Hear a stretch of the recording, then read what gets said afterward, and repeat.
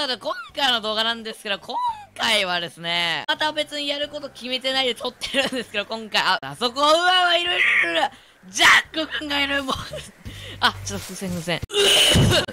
いやー、あったは、これだ、お前おいおいおい、なんちゃ、あー、2500円もしてたのに、今のパチンコ。はい、なんだこれ。は、ジャックさん。あら、マッスルのスーツ着てる俺がね、ちょっと昨日の動画でね、マスルのスーツあげたんですよ。あ、見てない人は見ましょう。見て、見た人も見ましょう。マスルのスーツあげたら、まあ、うん、体がムキムキになっちゃったんですけど、ジャック君。見てくれよ、このマッスルスーツ。タイトな感じが気に入ってるんだよね。うっそマジかよ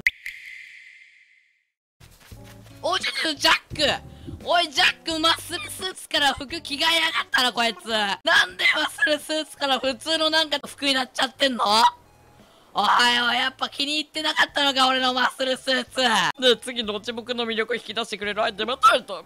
黒子のかぶれじゃあ、て、鉄仮面で適当に。ほとんど顔が隠れるけど、目元は、見える感じかなあー、来た、ナイル、ナイル、ナイル、ナイル。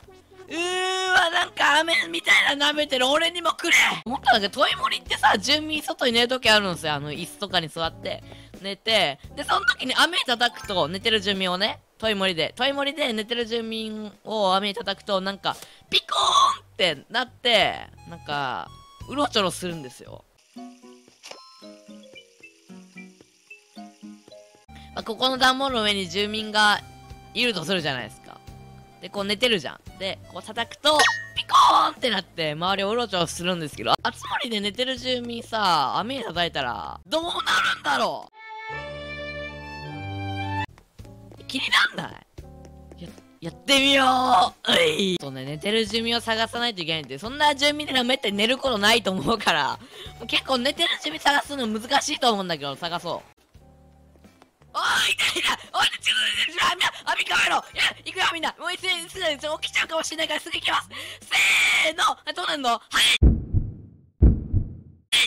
あ、うろちょろしたうろちょろするだけそういう森はなんかピコーンってなって、あ、あ、でもう出れたおいしょ！え、ちょ、ちょ、な、え、うろちょろするだけ？あ、やべ、話しかけちゃった。うろちょろするだけ？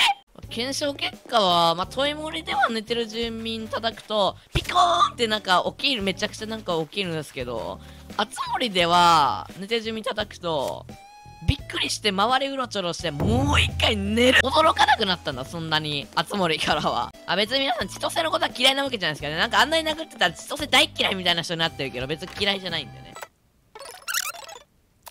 おやなななって。めっちゃムッキムキじゃんジャック君。めっちゃムッキムキ。